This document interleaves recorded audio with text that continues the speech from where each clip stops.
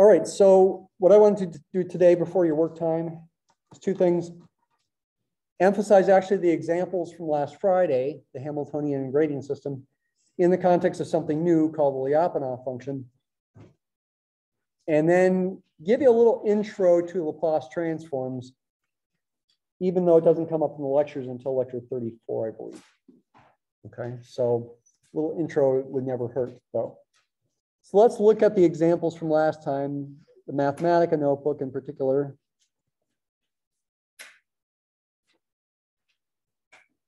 That's not it. This is actually the one that I shared with you uh, a few hours ago. This is what we went through last Friday, Hamiltonian gradient system. Let's quickly review. and then show you some new things. We'll focus on example one. So this was our Hamiltonian function, a function of two variables, x and y, that you can think about without thinking about differential equations. You can just think of this as a multivariable calculus function that, for example, you might want to graph and you might want to optimize. You might, you know, maybe it has an application where you want to find the lowest possible output here. So you could find partial derivatives with respect to x and y, set them equal to zero to solve for critical points, and then try to classify those critical points. And for example, right about here somewhere, there would be a, a minimum. There's a low point there on the graph. And also over here, there's a minimum. There's two low points. There's like a local maximum right about here. You see there's like a little hill there. Can I see that right there? And then there are saddle points. And you can talk about saddle points in multivariable calculus without talking about differential equations. And they do look kind of like saddles. If you can imagine sitting kind of right there with your legs going this way, this would be like a saddle that you might be sitting on, not the entire graph, but just part of it right there. Would be a saddle point in that it's not a low, it's a critical point. The partial with derivative with respect to x is zero there. If you imagine slicing this graph right where my cursor is showing, in the x direction, there'd be like a local max. And in the y direction, if you go this way, it's like it's a local min. It's both a local max and a local min at the same time in a sense. And that's what makes a saddle point. And really what that means is, it's neither a local max or nor, nor a local min in the big scheme of things. But relating this to differential equations, we can use this function to create vector fields the vector field where the first component is the partial with respect to y, and the second component is the opposite of the partial with respect to x, is a vector field that's going to define a Hamiltonian system. There it is. When we use stream plot, we are plotting that vector field effectively and the solution curves that follow the vector field. The first component we call little f, the second component we call little g as usual. And then all this stuff makes a picture of the phase plane and yeah, this would be, I mean, you, you practiced for about 15 minutes last Friday trying to draw this by hand, but you know, it's hard to do a very good job. It really is something where technology is ideal. And the Hamiltonian system problem from last year's final, I believe I at least gave them the nullclines. Maybe I also gave them the level curves of the Hamiltonian function. I don't remember offhand. I, I think I did. And the main conceptual point is if you're drawing this by hand and if you've got the level curves that you see in the background there, you'd want to draw arrows on top of those curves, indicating that the curves themselves become solution curves. Got to be careful when you think about that though. When I say the curves themselves, I don't mean just the x, y coordinates.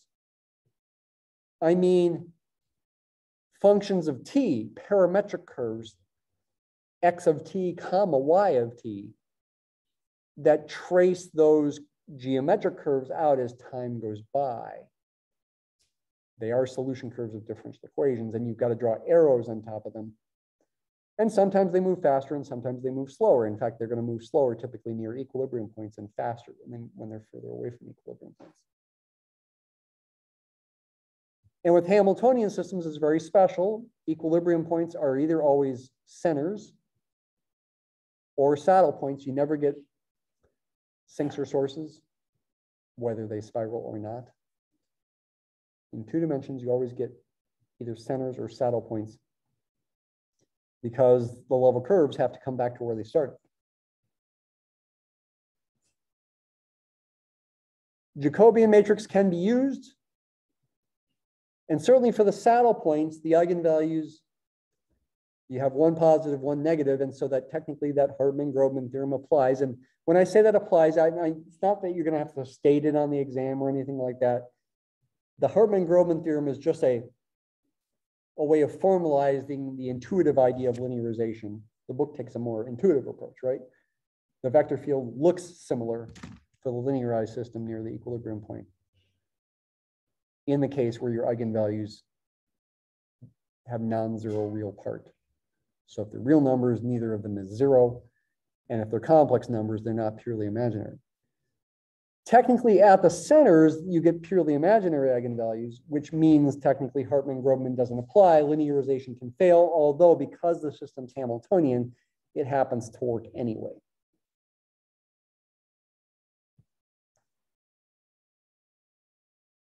If you create another vector field, a related one, where the first component is the partial of h with respect to x, not y, and the second is partial with respect to y, not the opposite of the one with respect to x, it's related vector field. It's a gradient vector field because this is a gradient vector. This is how you, if you take multivariable calculus, you learn about gradient vectors of a function.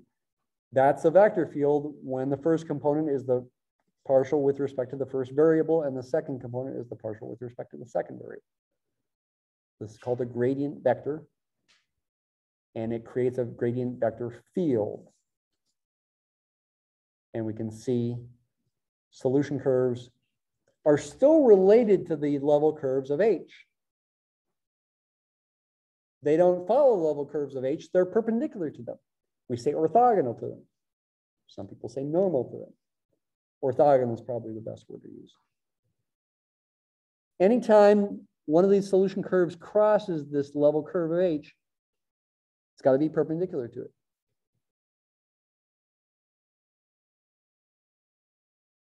You can get saddle points. These three points, upper right, lower right, and middle left are saddle points. You can get sinks and sources, though they're never spiral sinks or spiral sources.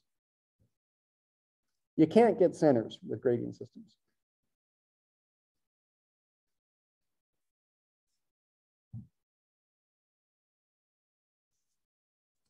In this plot, I plotted both systems solution curves at the same time, just for fun. They're orthogonal to each other.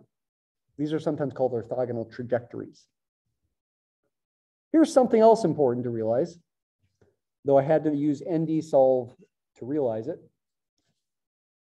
I haven't emphasized ND solve with you guys. I did a little bit more last year. You had a video where I talked about it, but ND solve is a way to get Mathematica to numerically approximate solutions in a way that's better than Euler's method. But using it is kind of tricky. You always have to look for examples, and even when you look at the examples, it gets tricky. But I was able to use it here, and what I've got right here is a closer in view of the Hamiltonian function, along with a solution curve to the Hamiltonian system based on a certain initial condition. Actually, my initial condition was the origin. Wait a minute, how could this be the solution of the Hamiltonian system? Aren't those these things? Aren't these the solutions? Yeah, they are. And the, the one to the origin, the origin's right about there. By the way, this little arrow here must be numerical error. There's no sideways arrow that should be there. The one that starts at the origin should go around like this and come back to the origin. Should be a periodic solution.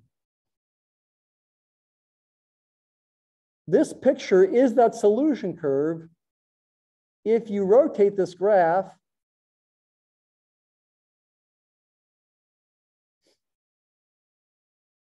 like this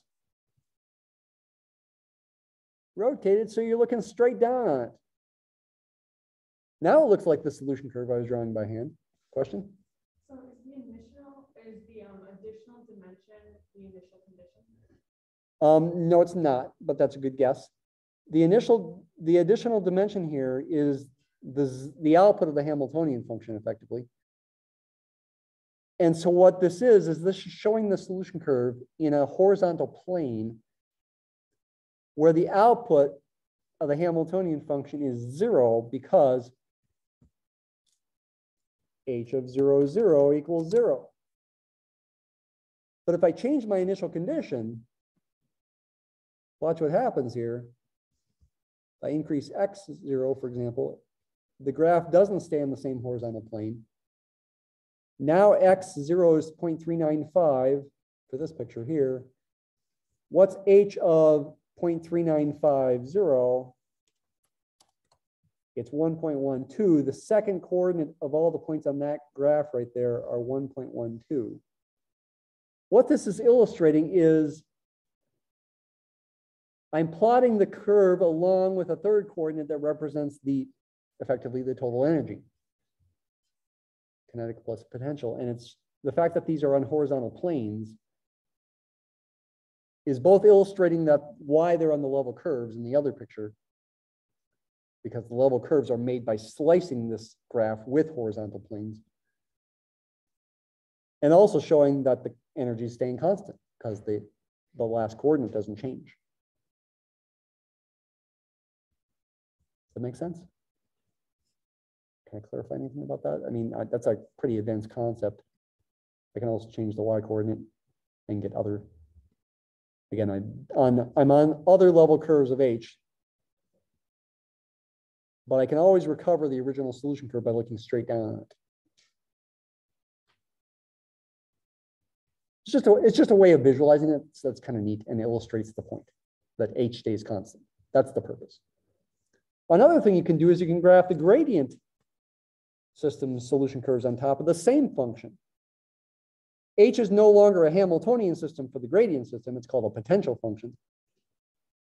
I can still call it H though. In lectures, I typically call it B. For the gradient system, solutions go uphill instead of staying constant values of H. They go uphill. They go steepest descent, it's what it's called. If you started on this graph, imagining this to be like a hilly region in some mountainous area, you started right there and you wanted to go the upward, the fastest route, you actually would follow this curve. The solution curve, looking at it like this, starting here and going up toward the equilibrium points there, would be a solution curve for the gradient system. It would be approximately, um, let's see, is the initial condition zero, zero here?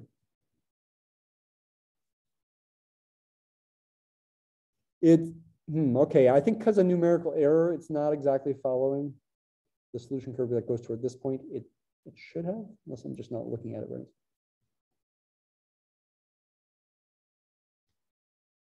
It actually seems to be going toward the saddle point instead of this local maximum. It really, if I'm starting truly at the origin, it really should go to, toward this point. I think possibly because of numerical error, it's going up toward, toward the saddle point. That might be the reason. If I increase y zero a little bit, it's going to go somewhere else. Hmm, it's not. Oh, there's a mistake here. This should be an F here. Let me re-enter this. Okay, now it's going toward the maximum. This is correct. Okay. But if I change the initial value of y, it's still going toward that maximum because that's a sink. In this picture here, you'd have to have an initial condition way up here before you go off this way. You, you start up here somewhere, you're still going to go toward that sink, which corresponds to a local maximum value of H. So solutions, in effect, go uphill with gradient systems. What's a Lyapunov function? A Lyapunov function, well, they will always exist for gradient systems, but they even exist sometimes for non-gradient systems. They are functions along which solution curves always go downhill instead of uphill. In fact, I could modify this graph with a gradient system, if I graph not the grade, the uh, potential function itself, but its opposite, put a negative sign in front of this. I'll also put a negative sign here. It's effectively the same picture, except that three-dimensional surface graph gets flipped upside down. Because I'm putting a negative in front of all the outputs of H.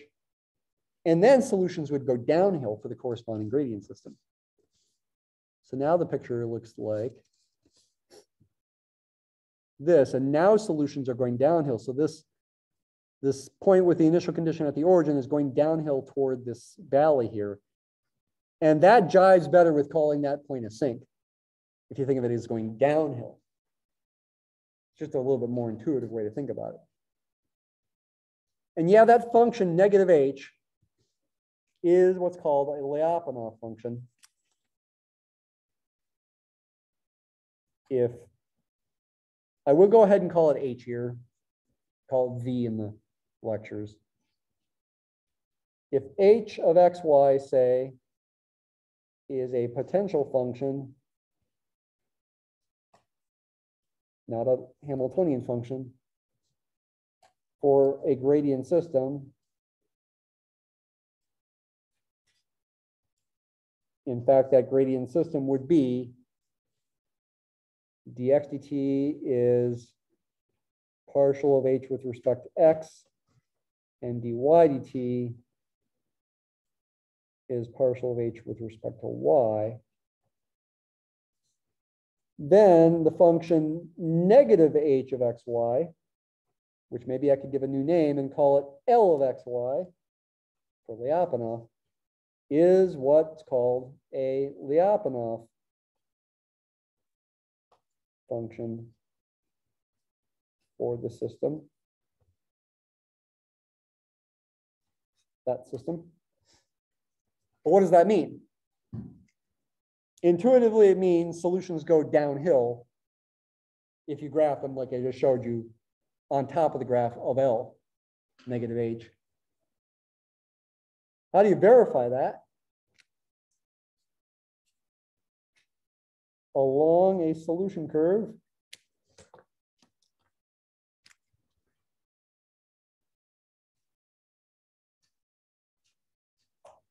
X of t comma y of t,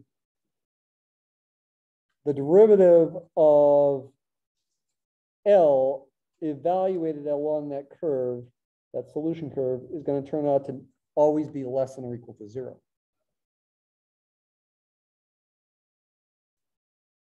when the derivative of some function of t is always less than or equal to zero, that means the function is decreasing. It's going down in value. If L represented energy, energy, kinetic energy, say, it would be dissipating. It's a dissipative system.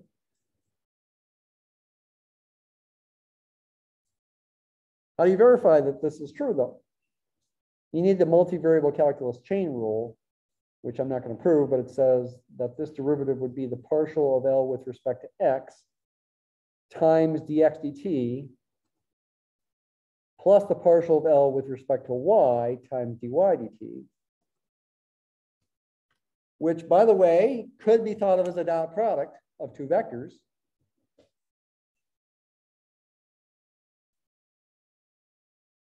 Maybe it's worth writing what dot product that would be.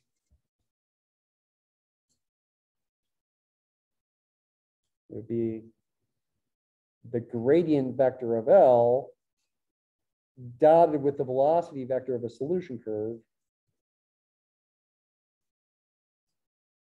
I could write that like this. This would be d capital Y vector dt if I, I like. Anyway, we're supposed to show this is negative. How? Well, you got to use what the system is. You got to use this fact up here. That must be relevant, otherwise it might, probably is not going to be true. But this would be negative. And L is negative H. So in fact, this gradient vector is the opposite of the gradient vector of H. And I could, I could write all this in terms of derivatives of H. dl dx would be negative dh dx, because L equals negative H. And dx dt, well, it's dh dx. So I really get negative dh dx squared there. And a similar thing happens with the other derivatives. You get negative dh dy times dy dt, but what is dy dt? It's dh dy again. This is minus dh dy squared. And this is certainly a quantity that when we're dealing with real numbers is never positive. This is always less than or equal to zero. You don't see any t's in here except at the beginning. The t's are implicitly there. You know, we just don't bother writing them. Everything ultimately does depend on t when you're differentiating along the solution curve. This is ultimately a derivative with respect to t. And we're saying it's always less than or equal to zero. That means the values of L, in other words, negative H, are going down over time along solution curves, which is a symbolic way of verifying what we see in the picture here. Where to go? And it doesn't matter what initial condition I start at.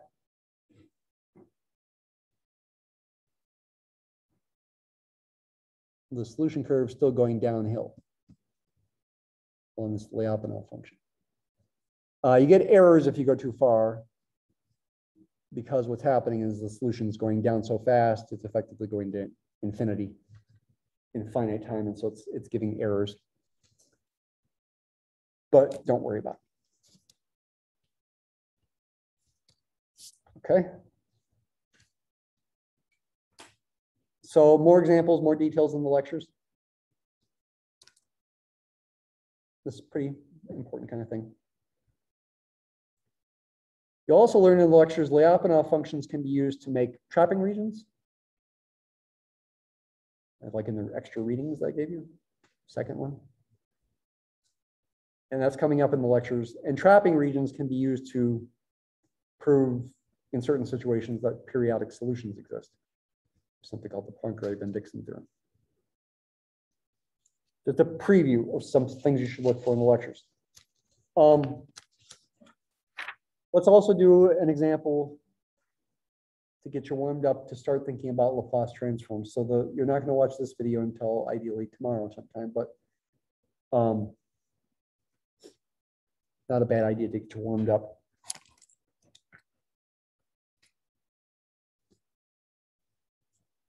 What is the Laplace transform?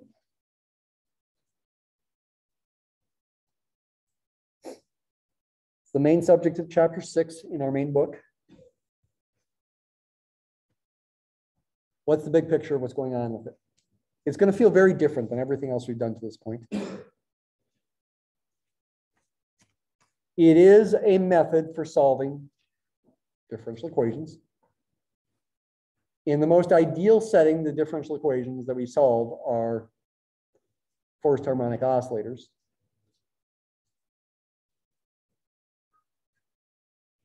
When you're dealing with more basic forced harmonic oscillators, using the Laplace transform seems kind of silly because it makes the problem harder. You can still do it, but it's hard. However, it is ultimately more flexible than the other methods that we talked about. And because of that flexibility, it allows you to solve a wider class of problems including where the fun forcing function is something weird, like maybe a discontinuous forcing function. Like you got the mass on a spring going back and forth, try hitting it with a hammer. Effectively, hitting a mass on a spring with a hammer is like a discontinuous forcing. You're essentially hitting it at effectively one moment in time. Now, technically speaking, it's not, that's not true, right? You hit it with a hammer, it, the hammer is going to be in contact with the mass over some tiny amount of time that's measurable. But from a mathematical modeling standpoint, it's actually easier to model it as a discontinuous forcing, that you're actually hitting it with just one moment in time. And Laplace transforms in that kind of situation work much better than any other method. Okay. We're not going to get far enough into chapter six to fully see that. But uh, if you're desiring some math to do over Christmas break, that's something you could do. Okay. Probably not over Christmas break, but at some point before math methods, it might be good to look at. Okay. And I did make an extra 37, lecture 37 that we will not, I will not require you to watch where I do get into more detail about that. And expand on that if you don't feel like reading about it. But that's not going to be required for the for our course. Here's the definition of the Laplace transform. It is a transform. It is a transformation. In fact, it is a linear transformation, linear algebra. But it's unlike any linear transformation you've ever seen before. It takes a function, y of t, and gives you another function commonly called capital Y of s, say. This capital Y is not a vector, though. It's just the common letter to use here. And it's defined to be an integral. An improper integral, in fact, from zero to infinity of the function little y of t times an exponential decay that depends on s. e to the negative st integrate with respect to t. When you do this integral, you want to think of s as fixed.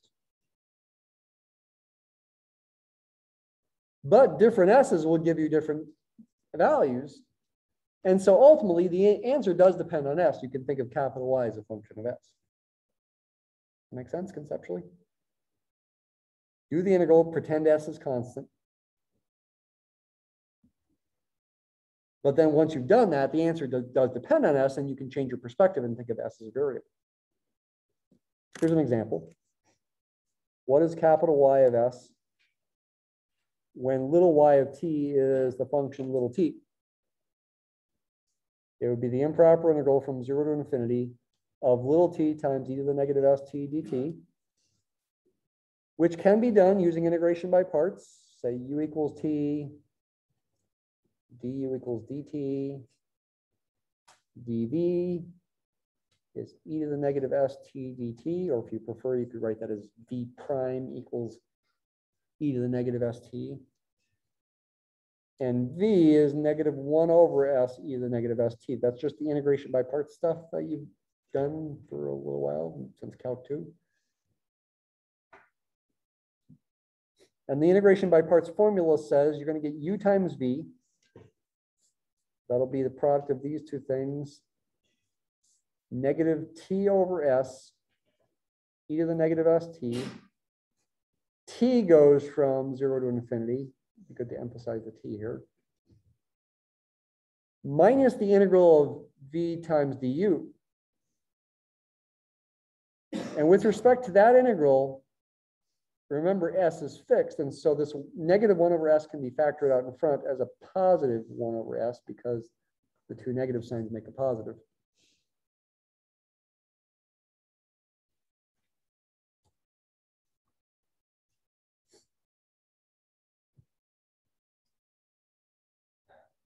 Technically speaking, improper integrals are really limits, but we're being a little bit hand wavy here. If you plug in infinity for t here, and I don't mean literally plug in infinity, I mean take a limit as t goes to infinity. The fact that, well, okay, what is, what is the value of s? Is it assumed to be positive? it would have to be if this integral is going to converge, actually. So assuming s is positive, e to the negative infinity, because s is positive, negative s is negative, is zero really the limit of that is zero. And it doesn't matter that you have a t in front either. Exponential decay goes to zero a lot faster than linear growth goes to infinity. And when you plug in t equals zero there, in particular, you get zero. This entire thing becomes zero if s is positive, which is what we need to assume to finish this problem. What does this thing become? This thing becomes negative 1 over s squared e to the negative st t gets evaluated from zero to infinity. Once again, if you quote unquote plug in zero for t, assuming s is positive, you get e to the negative infinity, you get zero. And then if you plug in t equals zero, you don't get zero, you get ultimately positive one over s squared.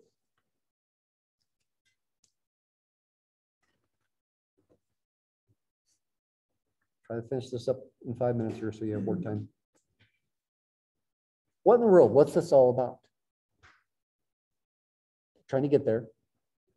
So far, this is just an example of computing the Laplace transform. The Laplace transform of the function t is the function 1 over s squared. In doing the calculation, we pretended s was fixed, but in ending it, we say, hey, what if s is a variable? Then I get a different number there. Hey, I could call that a function of s assuming S is positive. Technically, when S is not positive, the, this calculation is junk because these things don't go to zero.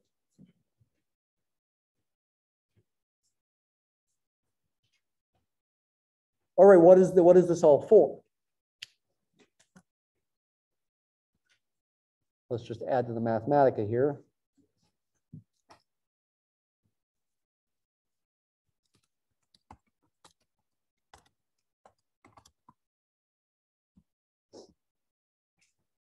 Mathematica can certainly compute Laplace transforms.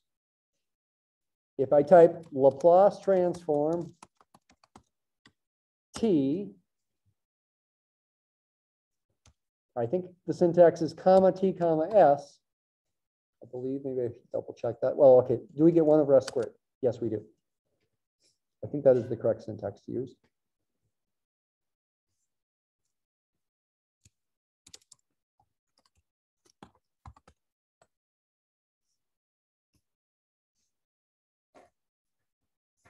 yeah, you put your function, whatever your function is of t right there. Then the, the next t is to emphasize that, hey, t is the variable for that function. And then the final s is to emphasize you want your answer to depend on s, which is traditional. If I wanted my answer to depend on r, then the answer would be 1 over r squared. Mathematica doesn't care. But traditionally, we allow the answer to depend on s. If I have an a in here, the fact that I have a t here emphasizes that t is the variable, not a. The answer does depend on a.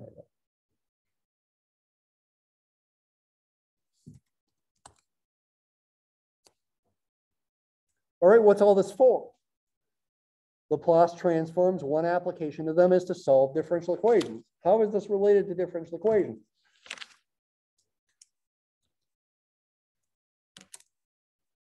Let's take our first order differential equation. dy dt plus 4y equals t.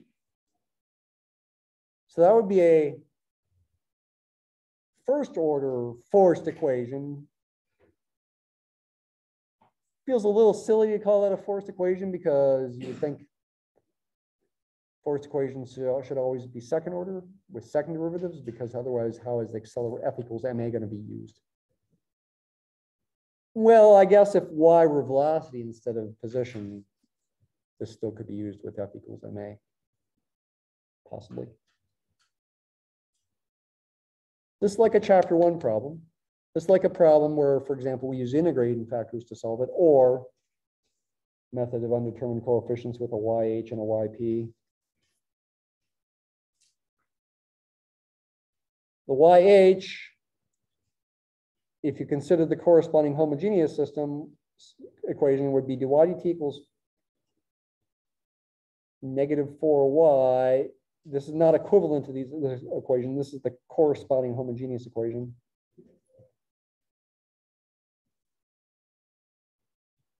And that tells me YH is an arbitrary constant times e to the negative 4t, right?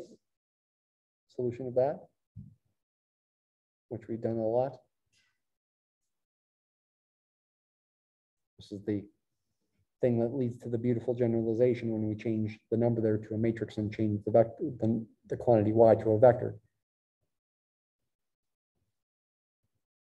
C is arbitrary. YP, a particular solution of the non-homogeneous, I need to guess something. And since the right-hand side is a T, a good guess would be AT plus B, say. But we do need to solve for capital A and capital B. We've done this before. Y prime, YP prime plus 4YP would be AT plus B. Oops, no, that's a mistake. A is the derivative of YP. Four times YP is four times in parentheses AT plus B. Gather like terms. This becomes four AT and then the constant term is A plus four B. If I set this equal to the right-hand side function T, that gives me a system of equations in A and B. 4A must equal 1 and A plus 4B must equal 0. If these are going to be true, equal for all T. This means A is 1 fourth, and plugging in here means B. Negative 1 fourth A is going to be negative 1 16th. So YP ultimately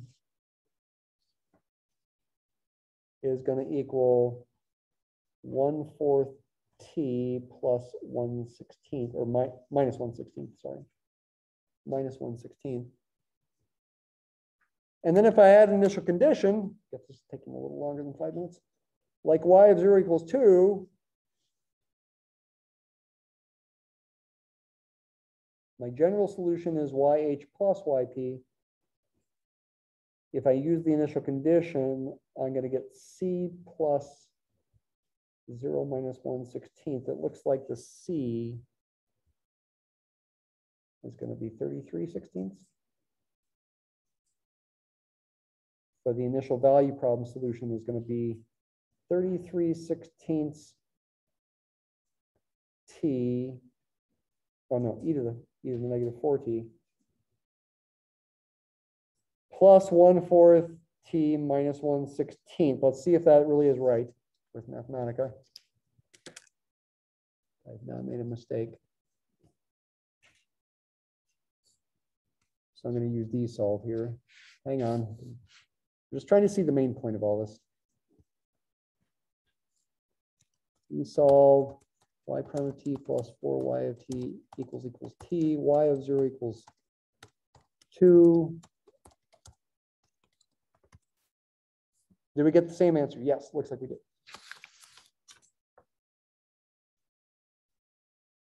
Wait, we're talking about Laplace transforms. How's that relevant? What we end up doing with Laplace transforms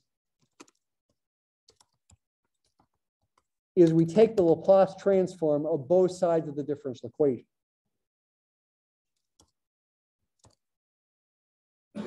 where t is the variable and get an answer that depends on s.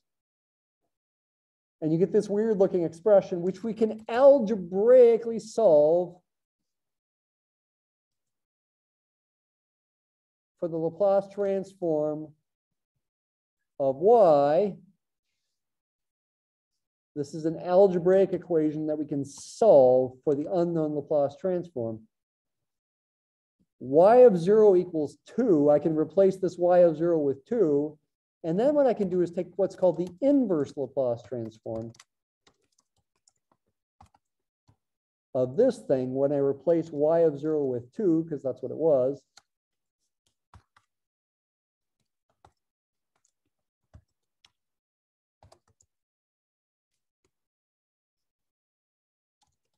And what happens is I get the same answer. Okay, there's a lot of details that are going under the rug here. We're relying on the technology to do it for us. But big picture is we're solving the differential equation with the Laplace transform. we are taking the Laplace transform on both sides of the equation. Somehow we are algebraically solving what results for that unknown Laplace transform. I did that with solve here. This is an algebraic equation to solve for this unknown Laplace transform. I get this I can replace y of 0 with the initial condition 2 and do the inverse Laplace transform and get the exact same solution. that I got up here with dsolve. All I wanted to get across here was the big picture, even though we had to fill in some details. Okay, so that's what ideally you'll be learning about with lecture 34. Ideally watching it tomorrow. sometime. Okay, you've got about 20 minutes to work.